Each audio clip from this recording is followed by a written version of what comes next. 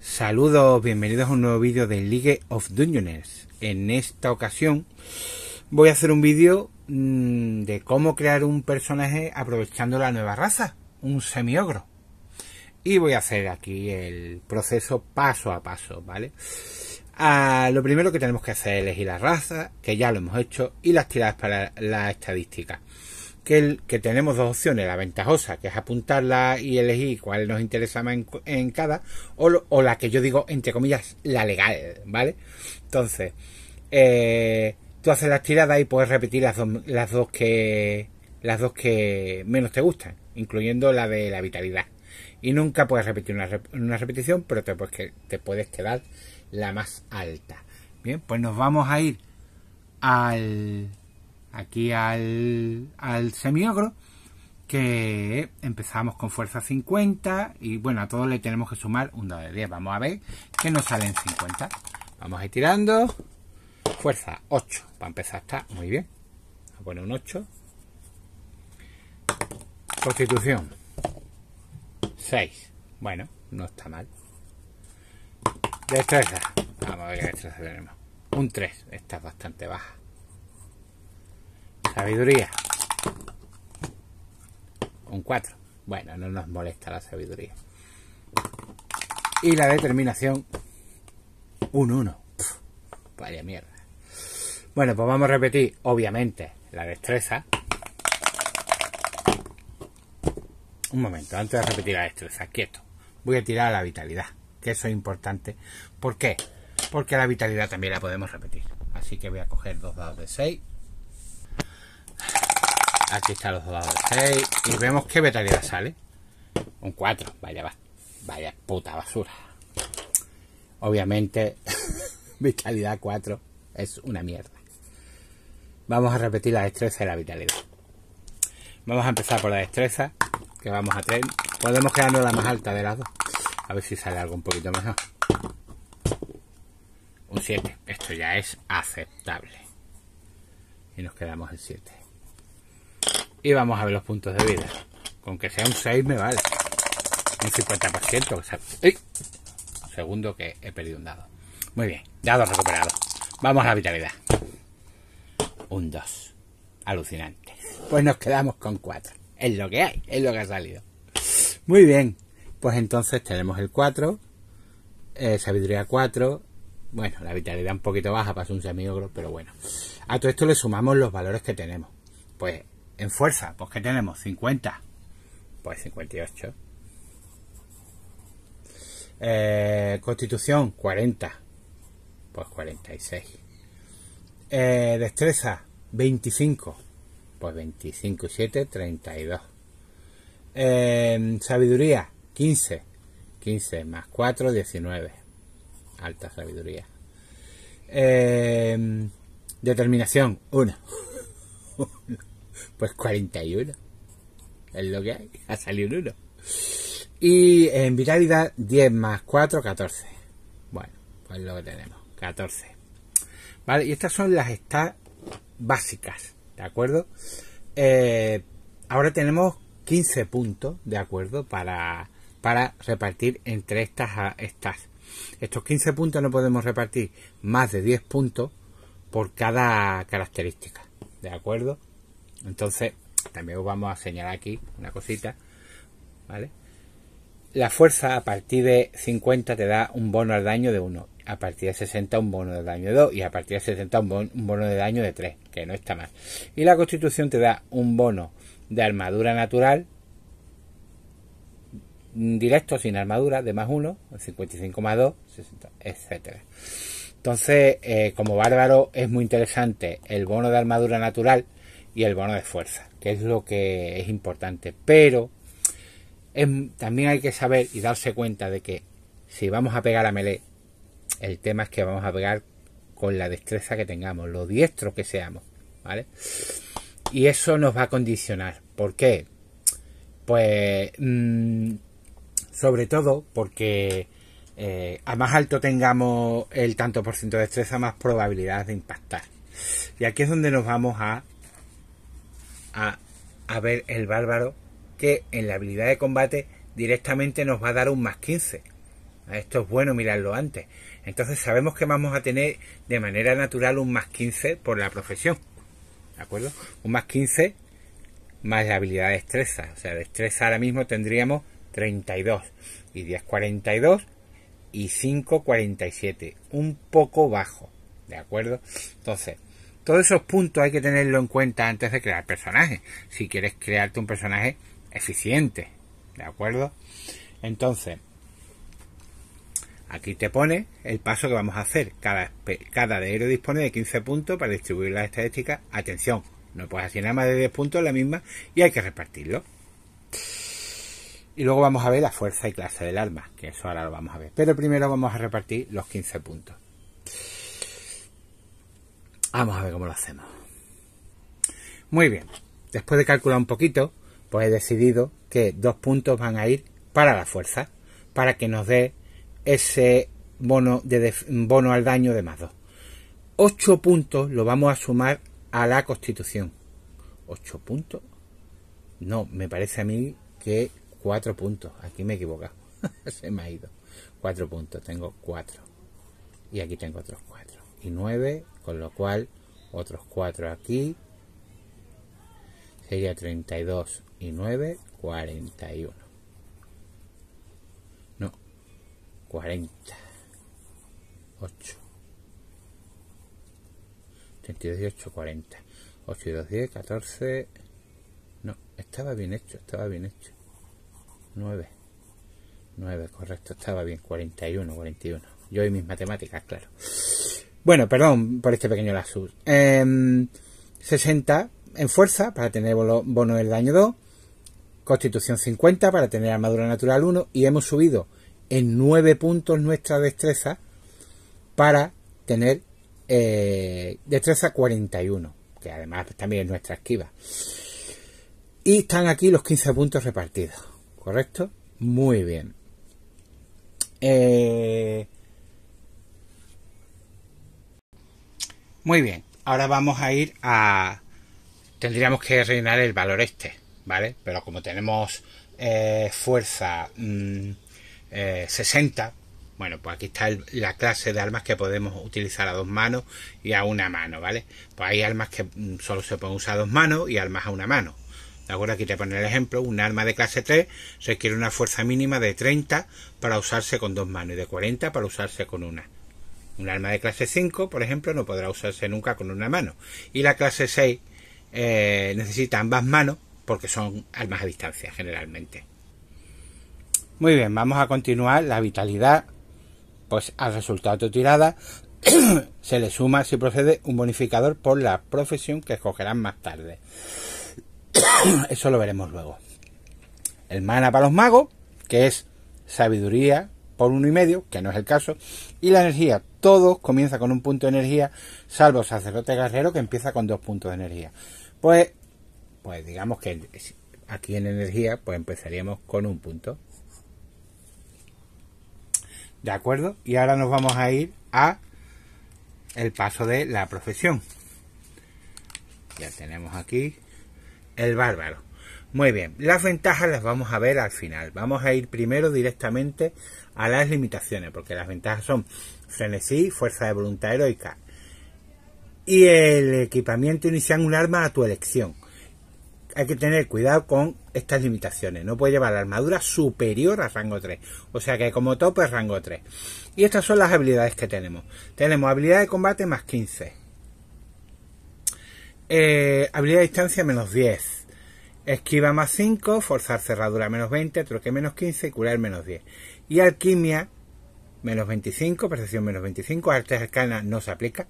Supervivencia menos 15. Plegarias no lo aplicamos y vitalidad más 2. Este es, a esto es a lo que yo me refiero con el, con el, bueno, a lo que se refería la regla de que le sumamos estos puntos de vida al, a nuestro bárbaro, ¿de acuerdo? Muy bien. Procedemos a las habilidades y se calcula, pues en base a su estadística, ahora lo vamos a hacer. Y el modificador está por nuestra clase, que ahora lo vamos a apuntar. Eh, y luego tenemos el, tema de habilidad gratis, que escogemos una habilidad en, la que tu profesión tenga un modificador negativo y le sumamos más 10. ¿Vale? ¿De acuerdo? Hechizo y plegaria y trasfondo, que a mí me gusta incluir el trasfondo. ¿De acuerdo? Pues vamos a ver qué habilidad nos gustaría tener en negativa. O sea, nos gustaría tener eh, eh, pues en condiciones, ¿vale? Pues aquí tendremos, podríamos elegir esquiva, no esquiva, no, perdón, habilidad a distancia, percepción, podríamos tener un más 5 percepción, no está mal, trueque o curar. Yo creo, pienso, que la habilidad a distancia nos puede venir bien en alguna ocasión. Y bajar ese menos 10 a un 0, pues a mí me, me parecería correcto. ¿De acuerdo? Pues entonces vamos a aplicar la vamos a aplicar pues la tabla y lo que tenemos de acuerdo pues nos vamos a ir aquí le voy a coger la libretita lo voy a poner aquí más cerca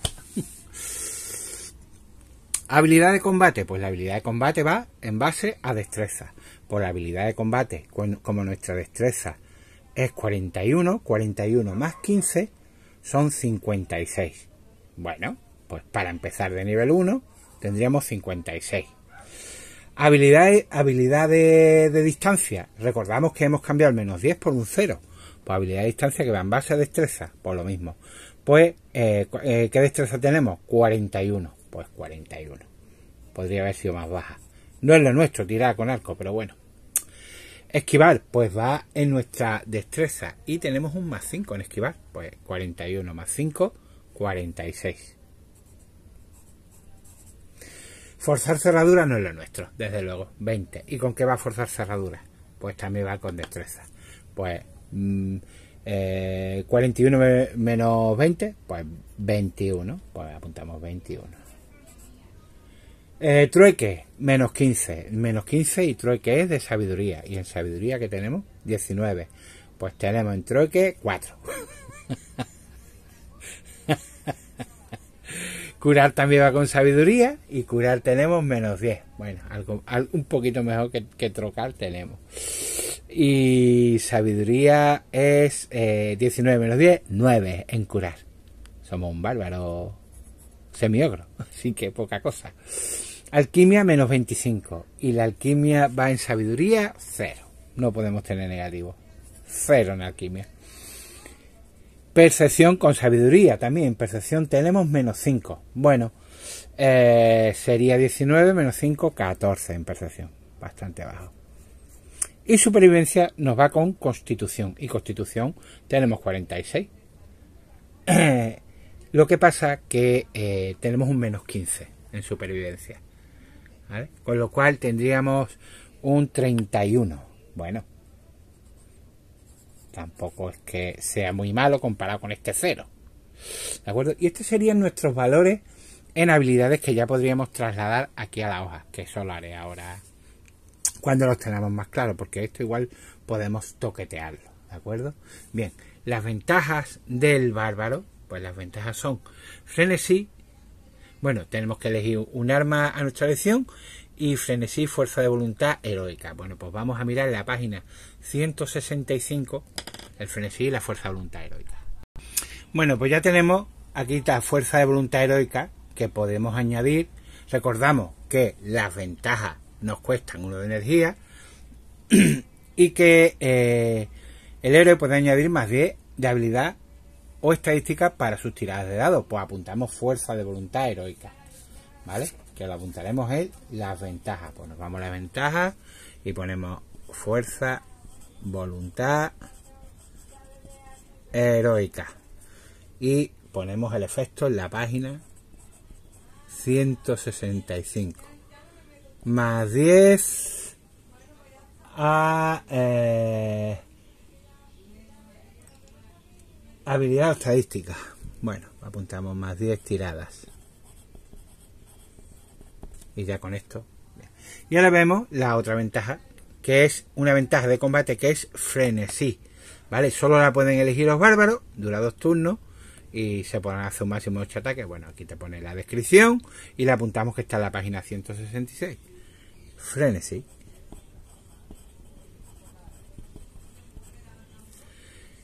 Todo esto son con un punto de energía. Yo lo pongo aquí como recordatorio. Uno de energía y uno de energía.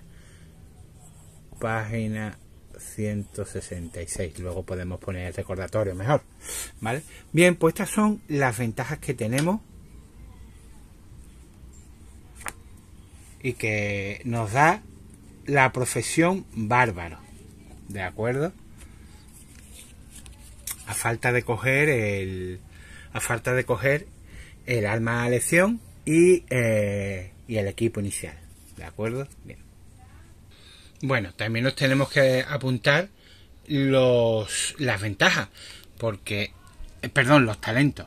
El talento tiene, eh, perdón, este bárbaro tiene, los bárbaros tienen fuerte de mente e imbécil, que son talentos que vienen aquí en el libro, en el libro de la expansión.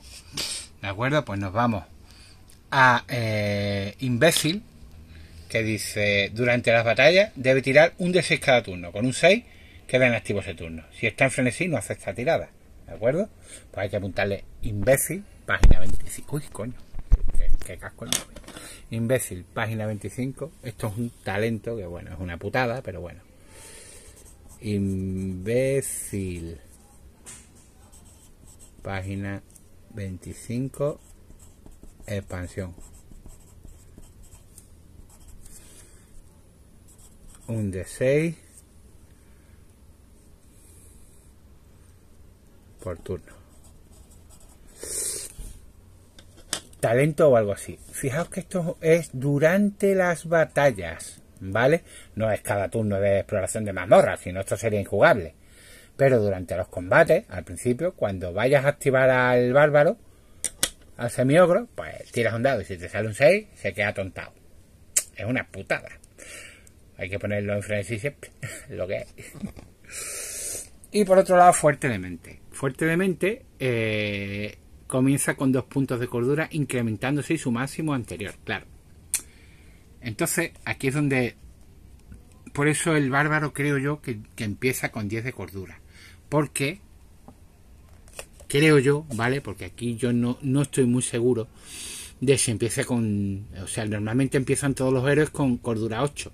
Y por eso empieza con cordura 10. Eso es lo que yo entiendo. A no ser que empezara con cordura 12. Es posible.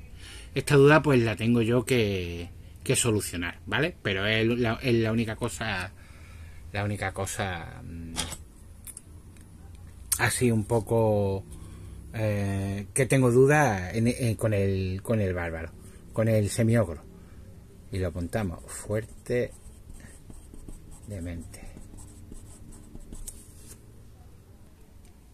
Muy bien, una vez hemos cogido los talentos y ventajas, vamos a coger el arma a elección. Eh, personalmente he decidido coger un gran hacha porque la veo... Mmm, me gusta este arma. La veo con un pool de daño muy bueno. Teniendo en cuenta que hacemos bastante daño porque somos muy fuertes. Pues un dado de 12 más 2. Lento y hecho para atacar. Que si queremos parar con el gran hacha, tenemos un menos 5 por lento y un menos 5 por hecho para atacar. Tendríamos un menos 10 a parar con el arma en defensiva, ¿vale? O sea que al final tendríamos solo un más 5 a parar con este arma. Y penetración de armadura 2, ¿de acuerdo? Entonces, ¿cómo se nos queda? Pues la apuntamos, gran hacha, dos manos, el daño del arma, la clase, el peso y las características especiales. Y aquí en el daño total, 2 dados de 12 más 4, más 2 por el arma y más 2 por el bonificador al daño que tenemos. ¿de acuerdo? Y esta es el, arma que tenemos que, hemos cogido. Mínimo, siempre vamos a hacer 5 de daño en la tirada de daño, teniendo en cuenta que tenemos penetración de armadura 2. O sea, vamos a ignorar dos puntos de armadura.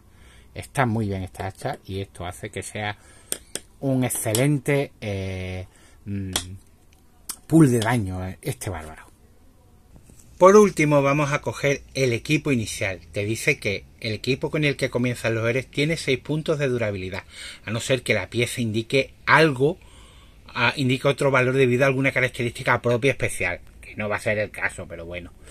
O sea, que esta pregunta que le hacen mucho, ¿el equipo empieza tocado? No, el equipo empieza nuevo, igual que si lo compras en una tienda, empieza nuevo. Y aparte del el héroe empieza con una bolsa con 150 monedas de oro que se puede comprar el equipo con este dinero antes de comenzar la aventura o guardarlo para más adelante. También se puede prestar dinero entre personajes o ponerlo en la hucha común. ¿de acuerdo? Pues vamos a equiparle con algunas piezas de armadura, ¿de acuerdo? También te dice que todos los héroes comienzan con una mochila pequeña, ¿de Y se puede comprar mochilas más grandes. Eh, comprar equipo antes de la partida. Lo bueno es hacerlo, lo, bueno de hacerlo es que no se realiza una tirada de disponibilidad. Están todos los equipos. Lo que pasa es que tenemos 150 monedas nada más. Y, la, y también vendrán con su durabilidad completa. Y después de comenzar, pues ya eh, en una tienda están en perfectas condiciones. Eh, ahora se debe hacer la, la tirada de disponibilidad para confirmar que queda en existencia en la tienda. Muy bien, pues hemos terminado el proceso de compra. He decidido con las 150 piezas de, oro que tenemos comprar una casaca de una casaca de cuero que nos da aquí, que es la opción creo yo más aceptable. La casaca de cuero nos protege el torso y los brazos. Nos cuesta 140 piezas de oro. ¿Vale? Eh, peso 4, defensa 3. Y aparte, he decidido comprar una ración, una ración que eh, cuesta 5 monedas de oro y tiene peso 1. Muy bien, ya está casi listo. Solo faltaría hacer la tirada de trasfondo, ¿de acuerdo? O, eh, y, ajustar peso si queréis utilizar esa regla, ¿de acuerdo?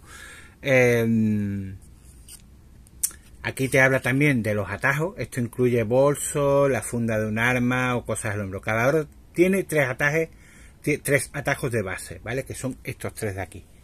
¿De acuerdo? Aquí podéis poner una poción, ganzúa, lo que quieras, ¿no? Y, eh,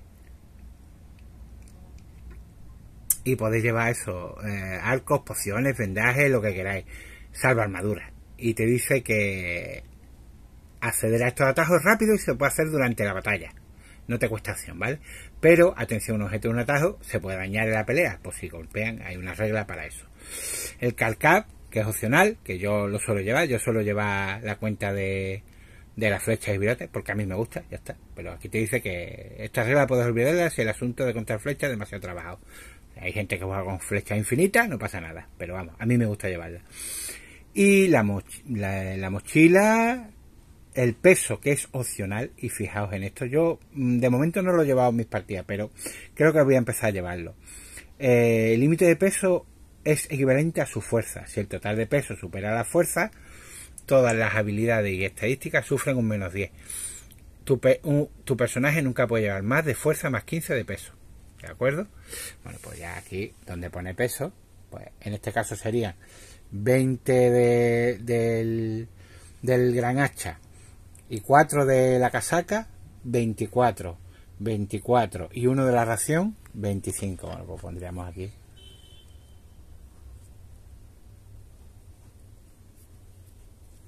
...25... Muy bien.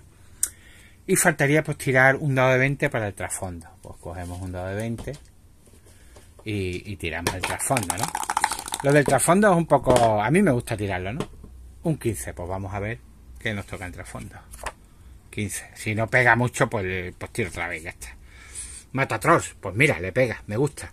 Matar un troll es una gran hazaña y los individuos que lo logran reciben como reconocimiento el título Matatroll. No es un título nobiliario auténtico, pero los que lo poseen lo, lo, llevan con gran orgullo. Eh, ha habido dos matatrolls en el linaje que te precede desde pequeño. Has jurado sobre el honor de tu familia incorporar uno más a la cuenta. Debes matar un troll para reclamar sus condiciones el título Matatrol debe dar el golpe final a un troll de cualquier tipo. Si lo logras, habrás honrado tu linaje y ganas mil puntos de experiencia. Bueno, a mí me parece muy correcto que nuestro semiogro quiera, quiera convertirse en un Matatrol. Pues muy bien, me parece bien. Pues ponemos aquí trasfondo. Matatrolls. Esto tenéis que acordaros de llevarlo y ponemos la página que es la página 46.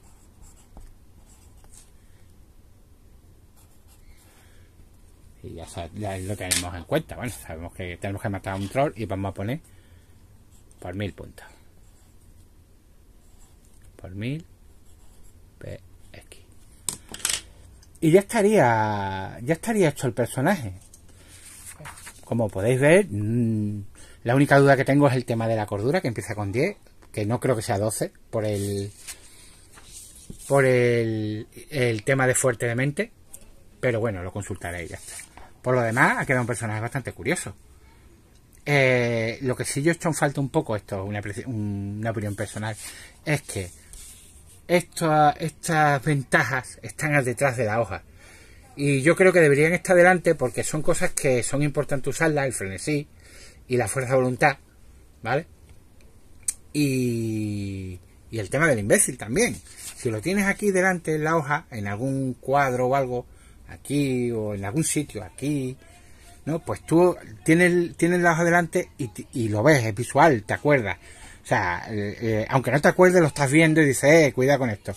Pero si lo tienes atrás, te tienes que acordar y se te puede pasar. A mí me ha pasado algunas veces jugando partidas que he olvidado habilidades eh, y he dicho, ah, es verdad que tengo frenesí o que tengo la fuerza de voluntad heroica y podría haberla usado. Entonces, eso en la hoja de personaje eh, creo que mm, sobra tanto dibujito y tanto que está bonito, que a mí me gusta que sea bonita, pero podría ser un poquito más eh, funcional. Y con el tema este también, porque va a estar consiguiendo moneda y experiencia cada dos por tres, y esto va a estar apuntando, borrando, apuntando, borrando, apuntando, borrando, apuntando, borrando. Entonces, esto creo que es muy pequeño. Bueno, estos son detalles que no vienen con lo de la creación de personajes. Y, pero bueno, me gusta apuntarlo. Eh, creo que los cuadros son muy pequeños para poner todo lo que a ti te gustaría y describir bien el arma y, todo el rollo. Y bueno, yo he hecho, estuve haciendo una hoja de personajes a mi gusto, funcional, sin dibujo, bueno, con un dibujito en la esquinita, pero más, mm, con más enjundia. Le he quitado un cuadro de atajo, porque al final vas a usar pocos atajos, en principio. Y, y la he hecho un poquito más con los cuadros más grandes y más a mi gusto, claro. Aprovechando un poquito más. Es fea, mi hoja es fea, pero por lo menos puedes apuntar todo lo que quieres.